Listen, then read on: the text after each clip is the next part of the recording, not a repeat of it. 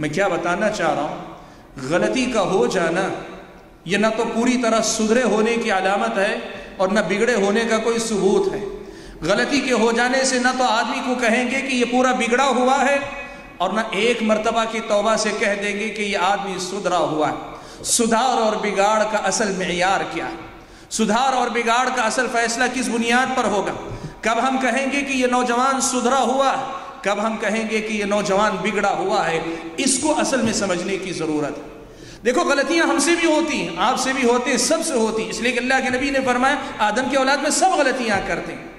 लेकिन असल जो तय होता है कि यह आदमी सुधरा हुआ है यह आदमी बिगड़ा हुआ, वो कैसे तय होता है? अगर आप देखें, बुनियादी तौर पे एक या दो बातें हैं जिनको आप जहन में रखें। सबसे पहली चीज़ है, एक आदमी वो है जिसे अपनी ज़िंदगी के मकसद का पता है कि मैं अल्लाह तबारक ताली की बंदगी के लिए पैदा किया गया। और उसे पता है कि मेरी मंजिल जन्नत है। मुझे इस दुनिया के बाद आखिरत में जन्नत पहुँचना है। एक वो आदमी। और जो आदमी इस मकसद को जानता है और जानने के बाद इसी मकसद की तकमील के लिए सुबह शाम ज़िंदगी गुजारता है। उसकी ज़िंदगी का मकसद अल्लाह ताला की बंदगी उसकी ज़िंदगी का मकसद अल्लाह ताला की बंदगी है और उसकी ज़िंदगी का सबसे बड़ा कमाल अल्लाह तबारक ताला की बंदगी। जिस आदमी की सूरत हाल ये हो कि वो अल्लाह की बंदगी को अपनी ज़िंदगी का मकसद समझता, जिस आदमी की ज़िंदगी में ये बात हो कि अल्लाह तबारक ताला की ज़िंदगी, बंदगी को वो अपनी ज़िंदगी का सबसे बड़ा कमाल और कारनामा समझता हो, ये सुधरी हुई जवानी की सबसे बड़ी अलामत है। ये सुधरा हुआ नौजवान है गलती होगी। ठोकर लगेगी, गलती करेगा गुना हो जाएँगे, वो तौबा करेगा, लेकिन इस गलती के बावजूद ये सुधरा हुआ नौजवान है। क्यों? इसलिए कि आदम के होने, बनी आदम में से होने के नाते, आदम की औलाद होने के नाते इक्का दुक्का गलतियाँ कभी कर ली गुना हो गया, वो तौबा कर लेता है। लेकिन उसे अपना मकसद मालूम है, उसे अपनी मंजिल का पता है, और उसका सफ़र उसी राह पर जारी है। ये सुधरा हुआ नौजवान है। इस जवानी की मिसाल आप दे सकते हैं कि ये वो जवानी है जैसी ज़िंदगी, जैसी जवानी अल्लाह ताला देखना चाहते हैं। लेकिन इसके मुकाबले में एक वो नौजवान, जिसे या तो अपनी ज़िंदगी के मकसद का पता नहीं, या फिर उसे अपनी मंजिल मालूम नहीं कि वो यहाँ के लिए नहीं, इस दुनिया के लिए नहीं, वो आखिरत के लिए है।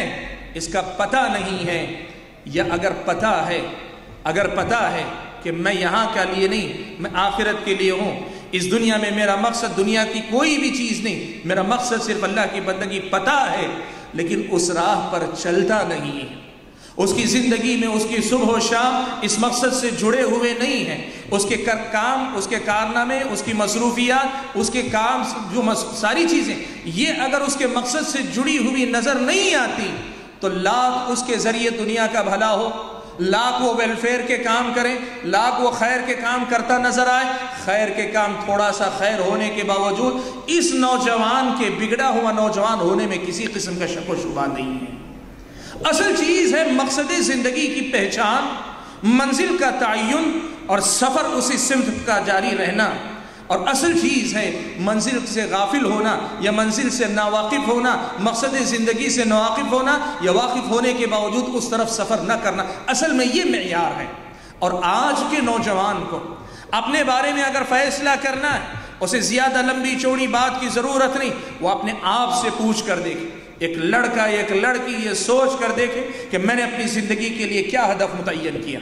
मेरी अपनी ज़िंदगी का टारगेट क्या है? मेरी अपनी सुबह शाम की मसरूफियात का मकसद क्या है? मैं किसके लिए क्या कर रहा हूँ? मेरी सुबह किस मकसद से होती है? मेरी शाम किस मकसद से होती है? मेरा दिन किन मसाइल में गुजरता है, किन मसरूफियात में गुजरता है? क्या इन मसरूफियात से मेरे मकसद का हसूल आसान हो रहा है? मेरी मंजिल की तरफ़ मेरा सफ़र रवा दवा है कि नहीं है? ये अगर कोई नौजवान तय कर ले, वो अपने आप में तय कर सकता है कि वो सुधरा हुआ है कि बिगड़ा हुआ है। आज हम आपसे नहीं कहेंगे कि आप बहुत सुधरे हुए। आज हम आपसे नहीं कहेंगे कि आप बहुत ज़्यादा बिगड़े हुए। हम आपसे ये कहेंगे कि आप अपने नफ्स का मुहासबा करके देखें कि आपने अपने मकसद को पहचान कर अपनी ज़िंदगी को सुधार की राह पे लगाया है या बिगाड़ की राह पे लगाया हुआ है। हाजिन गिरामी आज का असल अलबिया यही है कि आज के नौजवान को पता नहीं है या फिर यूँ समझिए कि कम अज़ कम गफलत के पर्दे पड़े हुए हैं कि उसकी सुबह शाम की जो मसरूफियात है, इनका हासिल क्या है? चंद लम्हों की लज्जत, चंद लम्हों की आज़ादी का एहसास, मनमानी का एक मौका, या फिर ये कि ये सोच कि मैं भी समाज के शाना बशाना चल रहा हूँ, मैं भी समाज के शाना बशाना चल रही हूँ, या फिर समाज के अंदर मुख्तलिफ़ किस्म के अपने तौर पे तय किए गए मैार कि मुझे स्पोर्ट्स की दुनिया में नाम बनाना है। मुझे फिल्मी दुनिया के अंदर करियर बनाना है। मुझे बिज़नेस आइकॉन बनना है। मुझे मुख्तलिफ़ किस्म के समाज के जो मनासिब अहदे हैं, उनमें से किसी तक पहुँचना है। इसी को आज के नौजवान ने अपना मकसद समझा हुआ है। असल वो माम यही असल मसला है। बिगाड़ का की शुरुआत यहीं से होती है कि एक बंदा अपनी ज़िंदगी के लिए मकसद क्या मुतन करता है, अपनी सुबह शाम की मसरूफियात को किस मकसद की तकमील में लगाता है। मैं आपके सामने ये बात रखूँ कि आज हकीकत ये है कि इस नौजवान को समझना चाहिए। इस नौजवान को समझना चाहिए कि मेरा ये मकसद है और साथ में ये भी समझना चाहिए कि इस मकसद से गाफिल करने वाली चीज़ें, इस मकसद से मुझे दूर ले जाने वाली चीज़ें क्या क्या हो सकती